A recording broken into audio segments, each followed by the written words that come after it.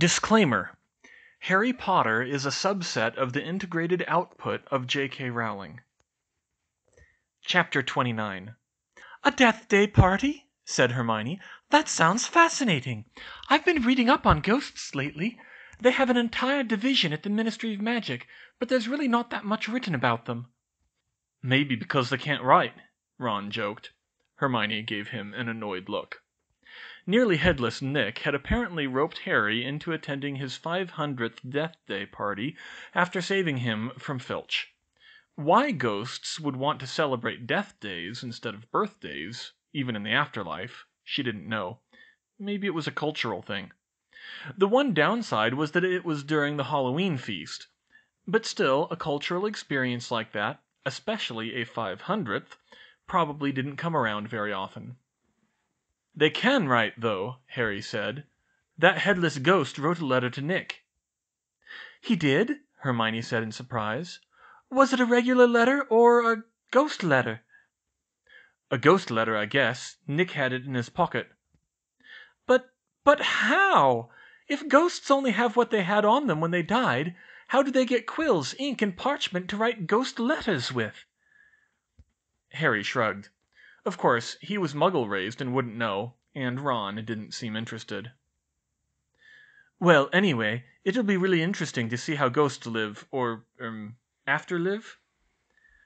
"I doubt it," Ron countered. "Sounds dead depressing to me." Hermione groaned. "Maybe you should leave the jokes to Fred and George, Ron. I'm serious. No one bothers to look into how the house elves live, and yet they have a whole society of their own. I wonder if it's the same for ghosts." "Well, I guess we're going to find out, like it or not." For the boys it turned out to be closer to not. On Halloween Hermione was starting to think she'd rather go to the feast herself, but a promise was a promise and she insisted on making sure Harry got down to the dungeons for his promised visit to Nick's party. Hermione's first impression of what she took to be the ghost "culture" was not a good one. It seemed to be focused on being as eerie as possible and as dreary as possible at the same time.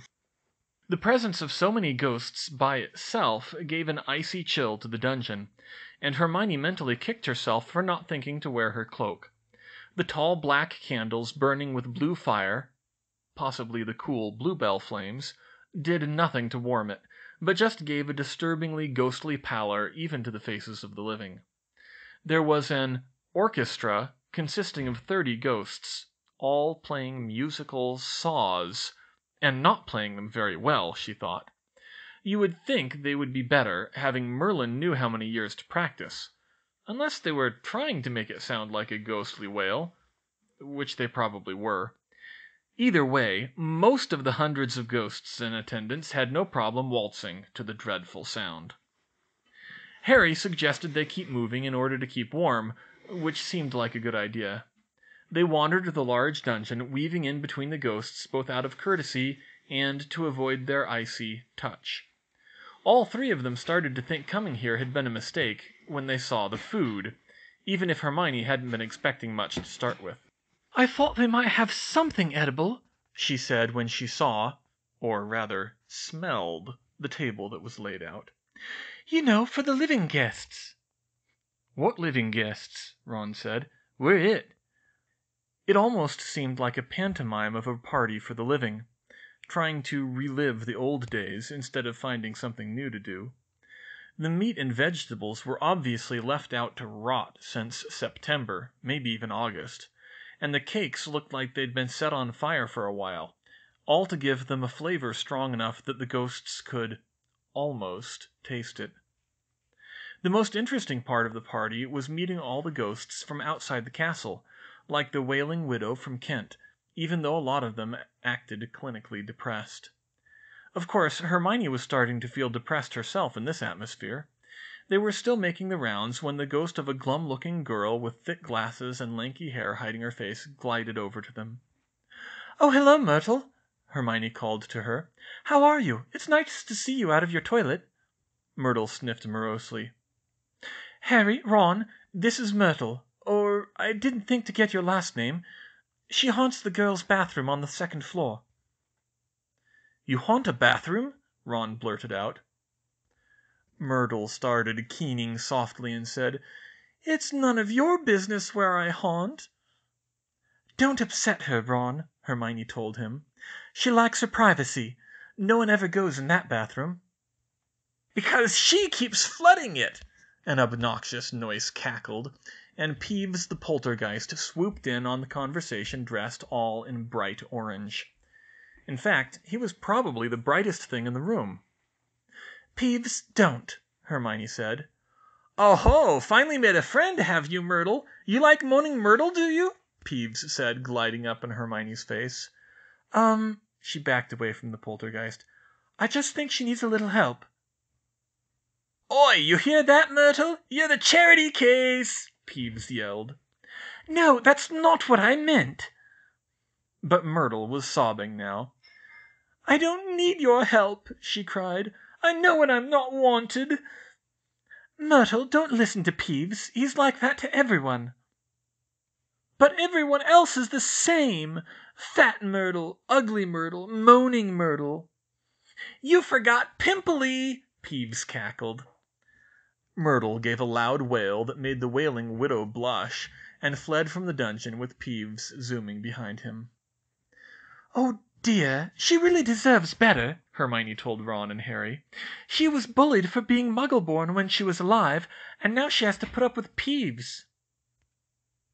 "Yeah, well, so do the rest of us," Ron said. The party didn't get any better from there. Nearly Headless Nick was just about to give his speech when the Headless Hunt rode in on a dozen ghostly horses. Nick's resentment of the properly beheaded ghosts was clear, and Sir Patrick Delaney Podmore looked like he was loving it. To add insult to well, injury, they completely ignored Nick's speech and played head hockey the entire time. Apparently, even ghosts had bullies. By then, Ron and Harry had had enough, and Hermione had to agree, so they made a quick exit. "Honestly, I don't understand why he keeps trying," Hermione said once they were out of earshot. "I mean, I know he'd very much like to join, but it's a sporting club that he's not physically capable of participating in, or, I mean you know what I mean. You'd think that after five hundred years he'd find something else." "Eh, who knows? I don't understand anything they were doing," said Ron. "And where do the ghost horses come from, anyway?" she continued. "Horses aren't magical creatures." But Ron and Harry didn't know any more about ghosts than she did. She'd have to look it up later. "Feast is probably over by now," Ron said glumly. "Come on, we're going to the kitchens," Hermione said. "When I realized the party was at the same time as the feast, I went up and asked Sónya to save our food for Eek!" she squealed as Ron grabbed her in a hug. "You're brilliant, Hermione," he said. "Thank you," she said primly. "Only took you a year to notice." "Hey, did not." They turned in the direction of the kitchens, but suddenly Harry stopped and started looking around fearfully. "Harry, what is it?" Hermione said. "Quiet, it's that voice again," he whispered. "Listen." She did. "I don't hear "Shut up a minute," he cut her off rudely. Then he started running for the stairs. "This way!" he yelled. Hermione and Ron had no choice but to follow. They didn't know what had got into Harry, but Hermione, at least, hadn't forgotten what happened the last time her friend had gone this crazy. She had her wand at the ready. Harry sprinted past the entrance hall and up to the first floor with his friends struggling to keep up. "Harry, what's going Ron started. "Shh!" Harry hissed. "It's going to kill someone." "What?" Hermione yelled, but Harry didn't hear her.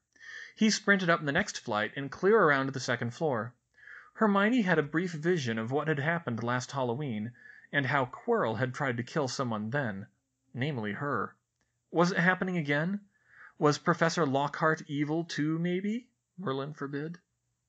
They turned into a dead end. The last passage ended with no sign of whatever murderous thing Harry had been chasing. The only thing down there was Myrtle's bathroom and "Look!" Hermione yelled. There on the wall in crimson foot high letters was written: "The Chamber of Secrets has been opened. Enemies of the Heir, beware." "What's that?" Ron said nervously. For a moment Hermione thought he meant the large puddle of water on the floor, but as they walked closer Hermione realized it was something else. Filch's cat, Mrs. Norris, was hanging motionless by her tail from a torch bracket, stiff as a board. "We gotta get out of here!" Ron hissed. "But can't we help her?" said Harry. "And get caught by Filch? No way!"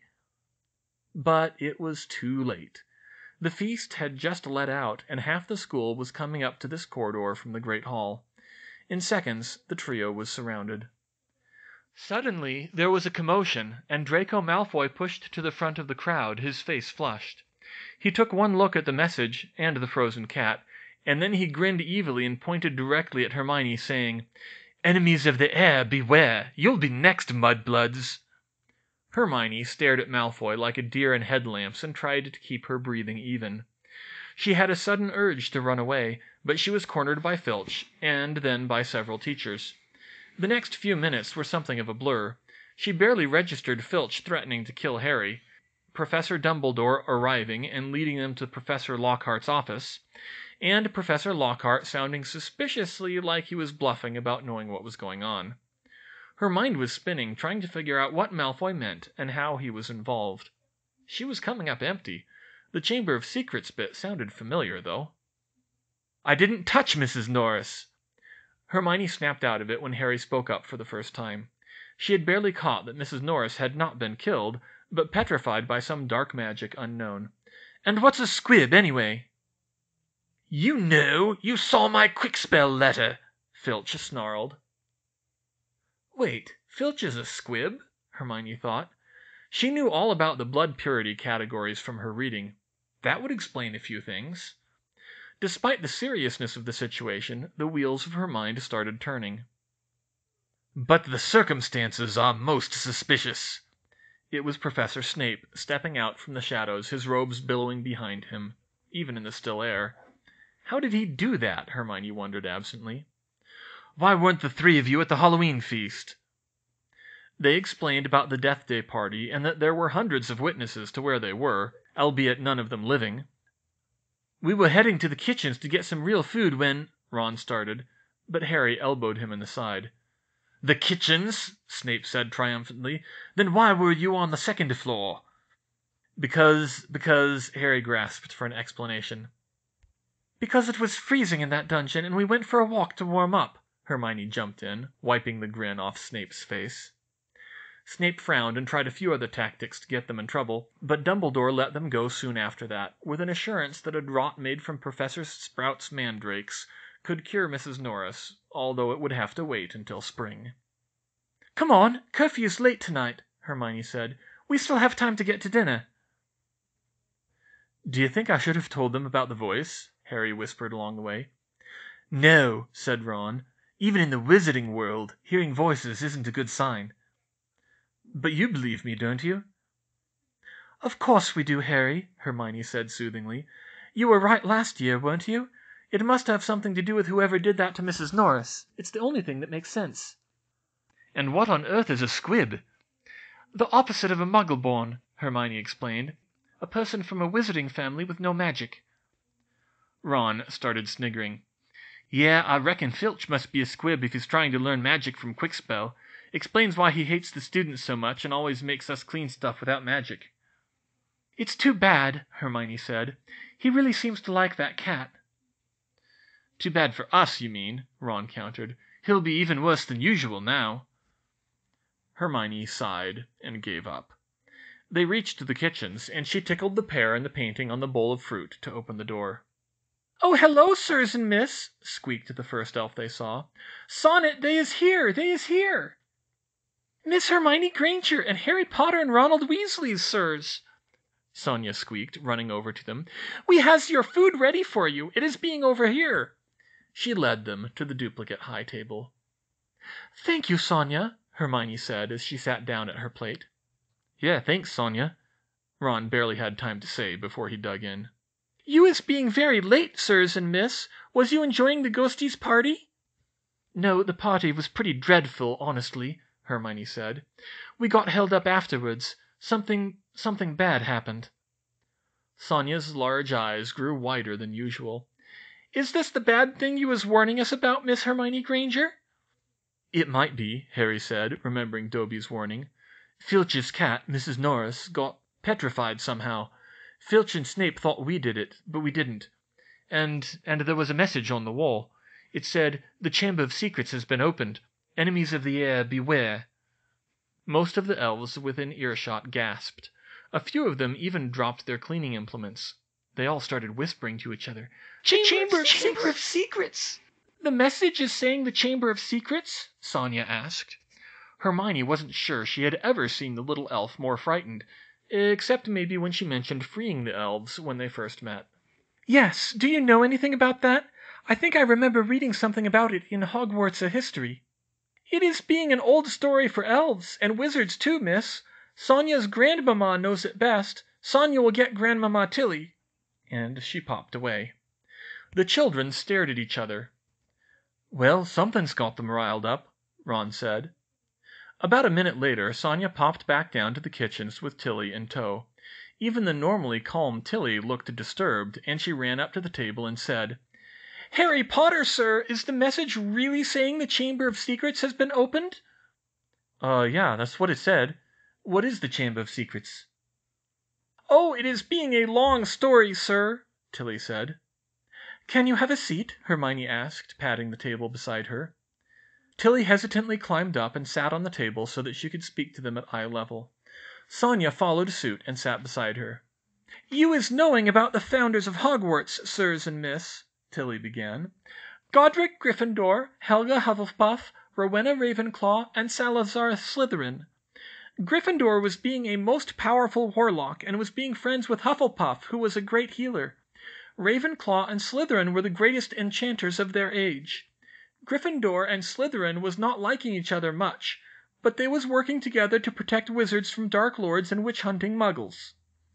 The founders was not starting a school at first. They each was having their own special magic, and they each gathered apprentices to teach them their magic.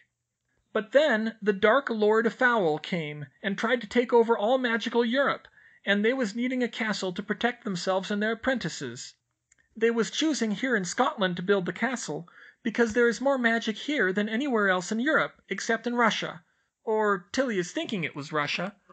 It might be one of the new countries. But Lord Fowl was wanting this place, and they was not wanting him to get it. The founders worked together to build Hogwarts Castle. Ravenclaw and Slytherin made the best stone circle in the world to build the foundations and tap the earth magic, and Gryffindor was designing the battlements, and Hufflepuff was designing the living space. At first it was just being the West Wing, but Helga Hufflepuff was buying many house elves from masters who did not treat them well to work at the castle, and she made her own elf, Hooky, the head elf. The founders was fighting Lord Fowl for many years, and he was besieging the castle, but they was keeping him out, and Slytherin was knowing the most about Lord Fowl's dark magic and defeated him. After Lord Fowl was defeated, the founders stayed at the castle.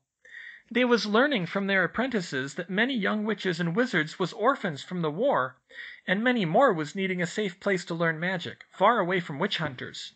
So the founders started teaching all the children who was needing it, and soon there was so many children that they decided to turn the castle into a school for all the witches and wizards in Britain and Ireland.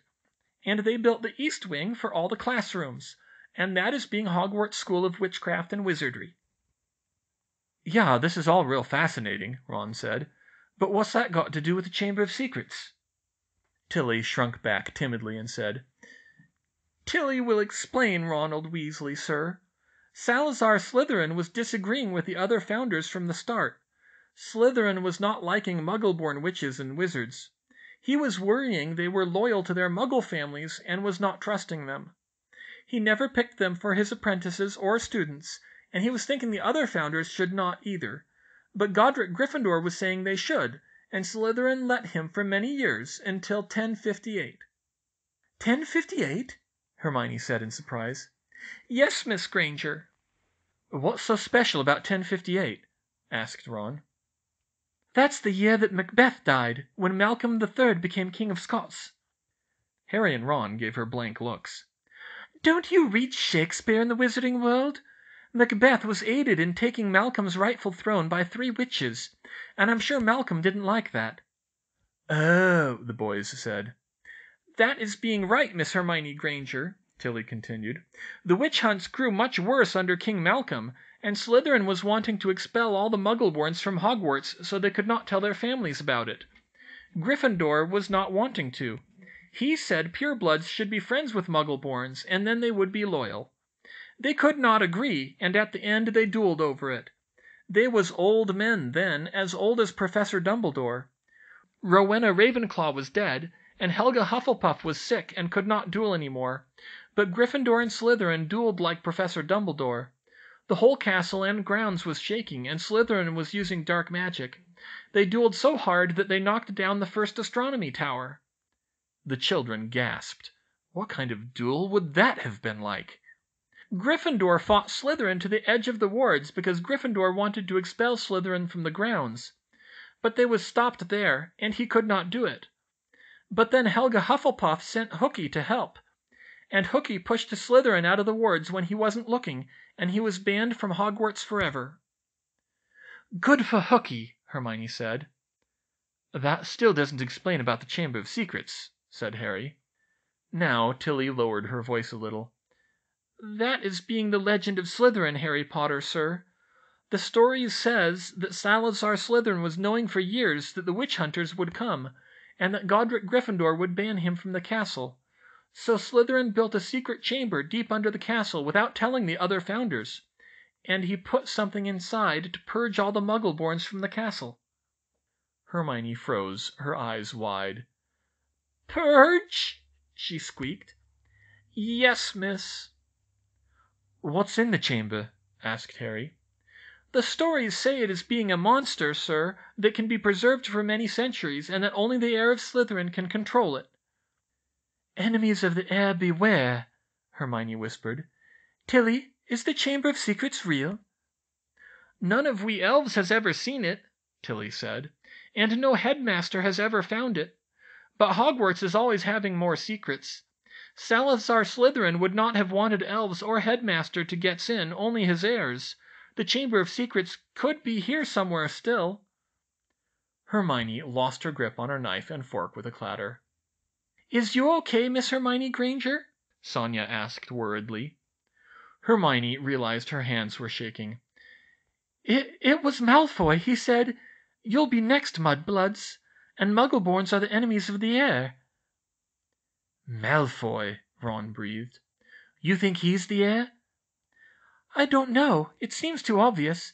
He's from a well known and well documented family, but Harry, Dobby said there was a plot, right?" "Yeah." "So maybe Malfoy's in on it. Maybe he knows something." "Yeah, I'll bet he does," Ron chimed in. "Who else thinks Muggleborns are scum as much as he does? So what do you want to do about him?"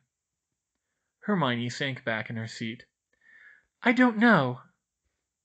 The sounds of conversation in the kitchen ceased, leaving only the scrubbing of pans and the mopping of floors. Finally Harry said, "Say, Tilly, when Dobby came to my relative's house he didn't look like he was being treated very well by his masters. Is there anything we can do to help him?" Tilly frowned as curious whispers broke out among the other elves. Sometimes wizards is buying elves who is not treated well, like Helga Hufflepuff, but some wizards is not selling their elves, so they cannot reveal their secrets." "I bet Dobby's masters wouldn't sell him then," Harry said. "He had to punish himself when he almost revealed their secrets." Several of the younger elves, including Sónya, whined in surprise at that, but Tilly and many of the older elves nodded knowingly. Apparently that wasn't unheard of. Finally they finished dinner and said good night to the elves. They had just enough time to get back up to the tower before curfew. Hermione tried to hide the fact that her hands were still trembling. "Wow, I never knew Slytherin was the one who started all this pureblood junk," Ron said as they walked. "Right," Hermione replied uneasily. "The funny part is he wasn't like Malfoy, just thinking purebloods were better. He was worried about the witch hunters." "Yeah, but it's still his fault. Honestly, if the Sorting Hat had tried to put me in Slytherin, I would have just got back on the train and headed home." Hermione didn't respond to that, but she saw the very uncomfortable, maybe even scared look cross Harry's face, and she remembered a certain conversation she'd had over a year ago. "Harry," she started, but he just shook his head. "What, you okay, mate?" Ron asked. Hermione shot him an ugly look. "What? What did I say?" Harry seemed to shrink into himself even further. "Harry, I told you then that it's okay," Hermione said, cautiously putting an arm around his shoulders. "You're nothing like them." "Huh?" Ron said. Harry looked up and faced his friend nervously. "Ron, the Sorting Hat did try to put me in Slytherin." "What?" Ron bellowed. "What happened? Why didn't it?" "'Cause I told it I wanted to go anywhere but Slytherin, and it put me in Gryffindor. I didn't even know about the pureblood stuff. I just knew Voldemort and a bunch of dark wizards were from there, and Malfoy was there." "And you didn't want to be anything like them," Hermione assured him. "But sometimes I wonder," he started. "You're not, Harry," she said fiercely. "You proved you were a Gryffindor one year ago tonight when you saved me from a mountain troll. And you've proved it again and again since then. You almost got yourself killed four times last year. And those are just the ones I know about." And then, to both Harry's and Hermione's relief, Ron broke into a smile. "Yeah, Harry. Can you imagine Malfoy taking on a troll? He'd probably wet himself." Harry started laughing. "Yeah, I guess you're right. Thanks, guys." The next few days were some of the most unpleasant Hermione had had in quite some time. Everything seemed to be falling apart again. She never thought she would be one to go paranoid, but she found herself looking over her shoulder frequently, in case Malfoy should show his face. She wasn't the only one, either. Justin Finch Fletchley seemed to be scared of Harry all of a sudden. Being found at the scene of the crime, some people were starting to think he was the heir of Slytherin, as absurd as that was. Also, Ginny was looking more pale and nervous than before her cold. Ron claimed she was a great cat lover and Fred's, George's, and Ron's attempts to cheer her up fell flat. Hermione didn't tell her parents about Mrs. Norris in her letter that week. She felt a little guilty about that, but she pushed it off by writing, Something strange happened, but things are mostly fine now. I'll tell you more when I know what's going on. That should be good enough for the short term. She spent all of her spare time the rest of the weekend in the library, followed by reading in the common room until the wee hours of the morning. As per her own advice, Lavender and Parvati had tried to make her come to bed, but she actually told them off this time. She was trying to find out what kind of horrible spell or monster or demon could petrify a cat like that. But as always, finding anything obscure in the Hogwarts library was like looking for a needle in a haystack. In the meantime, she noticed a lot of people putting their names down on a waiting list for Hogwarts a History, and she thanked her lucky stars for Tilly. She'd had to leave that book at home to make room for Lockhart's tomes, and would have been most unhappy that she couldn't get hold of it. Remembering that they'd found Mrs. Norris near Myrtle's bathroom, Hermione asked Myrtle if she'd seen anything, but the distraught ghost had been crying too much to pay attention to anything at the time. The one other odd thing the trio noticed was that the spiders were behaving very strangely, and that Ron was arachnophobic. Almost as if they were leaving the castle en masse, despite the approaching winter. What that could have to do with anything, they didn't know, but Hermione mentally filed it away for future reference. It was in this high strung and sleep deprived state that she sat down with her arithmancy study group on Tuesday afternoon. All right, Properties of triangles, everyone, Roger Davies said as he joined the table in the library. Right, simple enough, Hermione said, and immediately regretted it. For the most part, she had curtailed the urge to say things like that around her classmates. But as she presently was trying to make her brain focus enough to understand triple integrals on the side, it slipped out. Yes, well, do triangles get used that much in spellcrafting? Roger asked. "Not so much directly, but trigonometry does," Hermione replied, absently leaning her head on her hand. "Say, you don't look so good, Hermione," Alicia Spinnet said. "Are you feeling all right?" Hermione was about to brush it off and say she was fine, but she decided at the last moment that she really ought to be honest. "No, it's this whole Chamber of Secrets business." "Oh, that. Are you worried about it?"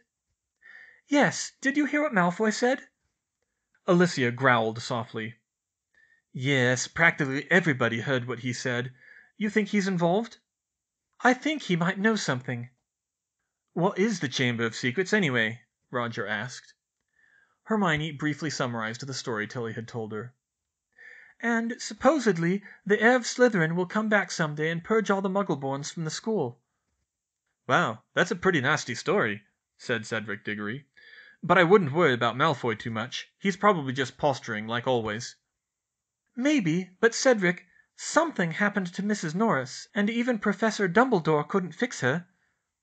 "Yeah, um, about that. So you were with Harry the entire time on Halloween?" Cedric asked nervously. "Yes," she said firmly. "We didn't know anything had happened until we stumbled on Mrs. Norris, and she was already petrified." "Okay, well, I'll try to make Justin understand. He's been really worried, thinking Harry is the heir of Slytherin, but I really didn't think he would do something like that."